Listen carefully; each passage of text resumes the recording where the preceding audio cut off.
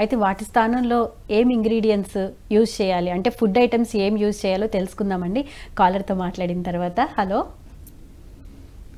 Hello నమస్తే అండి. మీ పేరు ఎక్కడి నుంచి మాట్లాడుతున్నారు? నా పేరు విజయనగరం. ఓకే అండి. ఏం తెలుసుకోవాలనుకుంటున్నారండి? Gastric okay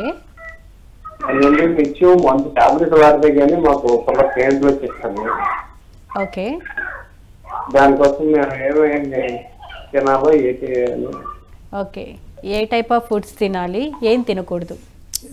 digestion system damage అయింది. అలాగే త్రేనుపులు కూడా వస్తున్నాయి. అంటే పైకి గ్యాసెస్ పైకి తంతున్నాయి. దీనికి బూడిద గుమ్మడికాయ పొట్లకాయ కలిపి జ్యూస్ చేసుకుని తాగాలి. ఈ శరీరంలో ఆ, వ్యాన ఉదాన సమాన వాయువులు ఏవైతే ఉన్నాయో అవి ప్రకోపం చెందినాయి. అరుగుదల వ్యవస్థ పాడైపోవడం ద్వారా గ్యాసెస్ ప్రొడ్యూస్ అయ్యి అవి లోపలే ఉండిపోతున్నాయి. అవి పైకి తంతు ఉన్నాయి.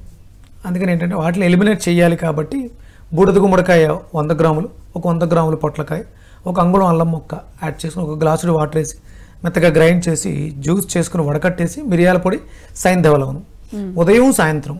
ఉదయం బూడిద గుమ్మడికాయ రేషియో ఎక్కువగా ఉండాలి సాయంత్రం పొట్లకాయ రేషియో ఎక్కువగా ఉండాలి. ఎందుకండి? అదే మీరు ఇందాక అడిగారు కదా బూడిద గుమ్మడికాయకి చలువ చేసే గుణం అధికంగా ఉంది వర్షాకాలం తీసుకుంటే ప్రమాదం ఏమిటి?